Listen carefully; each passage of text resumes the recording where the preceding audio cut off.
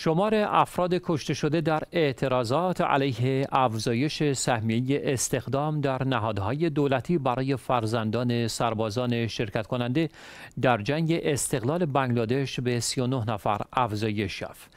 به گزارش همکارم در رابطه با نارامی های اخیر در بنگلادش توجه فرمایید. مقام های دولتی در داکا پایتخت بنگلادش از روز جمعه برپایی هر گونه راهپیمایی یا تجمع بزرگ را ممنوع کردند.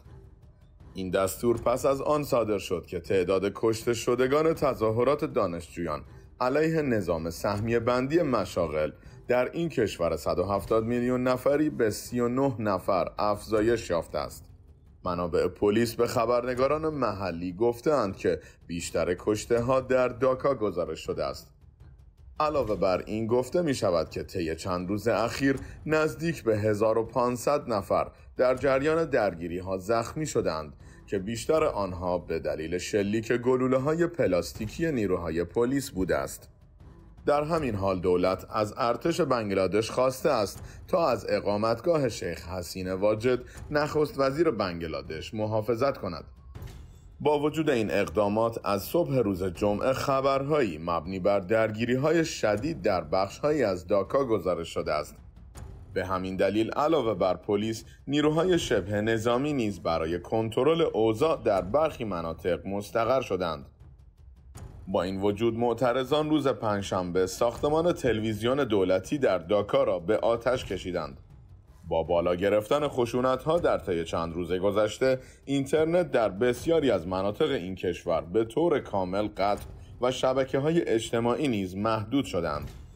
در همین راستا بیشتر رسانه های محلی پس از قطع اینترنت توسط دولت وبسایت های خود را به روز نکردند.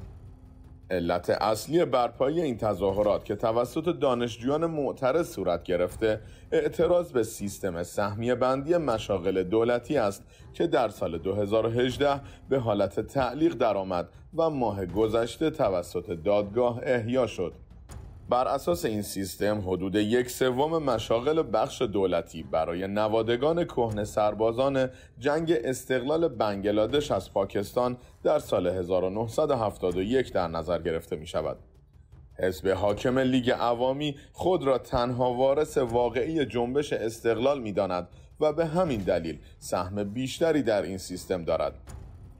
با بالا گرفتن این خشونت ها حزب ملیگرای بنگلادش به عنوان حزب رقیب اصلی حزب حاکم در همبستگی با دانشجویان خواستار اعتصاب در داکا شد. در مقابل دبیر کل حزب حاکم عوامی لیگ به دانشجویان معترض پیشنهاد مذاکره داده است که رد شد. پیشنهاد آن شامل کاهش سهمیه مشاغل بخش دولتی به 20 درصد است. دیگر واکنش دولت به این اتفاقات تشکیل یک کمیسیون قضایی برای بررسی قتل ها بوده است گفتنی است که آصف محمود مسئول هماهنگ کننده اعتراضات نیز از آغاز اعتصاب گسترده در بنگلادش خبر می دهد. به گفته وی معترضان از فعالیت تمامی نهادهای دولتی به جز بیمارستان ها و فوریت های پزشکی جلوگیری خواهند کرد.